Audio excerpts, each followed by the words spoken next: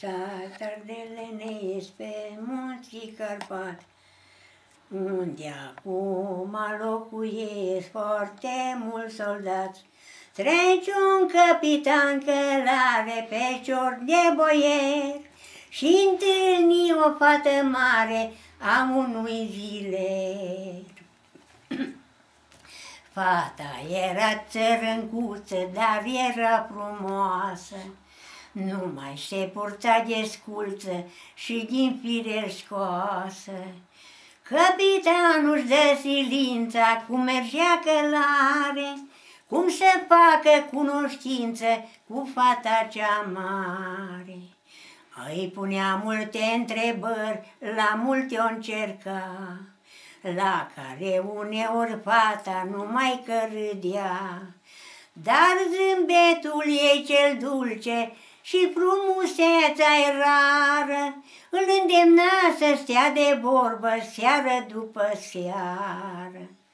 Și îi spunea că o iubește ca pe nimeni lume, ba și banii dăruiește să-și ia haine bune. Îi da bani să se îmbrace ca o boieriasă și spunea că ar vrea să o vadă la dânsul acasă. Dar într-acela moment un fluier se aude, ce-i cânta de un cioban și fata-i răspunde. Ești boier și capitan și ai și bani mulți, dar nu-l schimbă cel cioban ce cântă prin munți. Capitanul.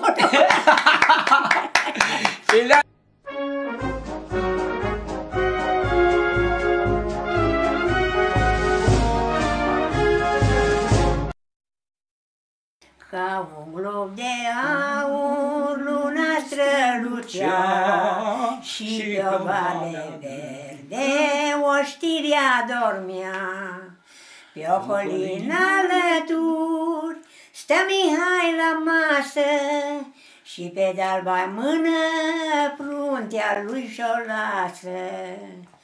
Stă în capul mesei între capitani și le cheamă dulce tinerii săiani.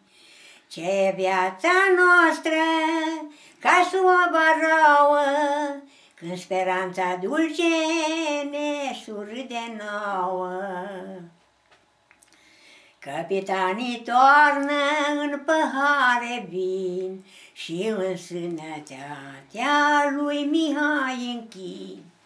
Dar Mihai se scoală și le mulțumește și luând păharul astfel le vorbește.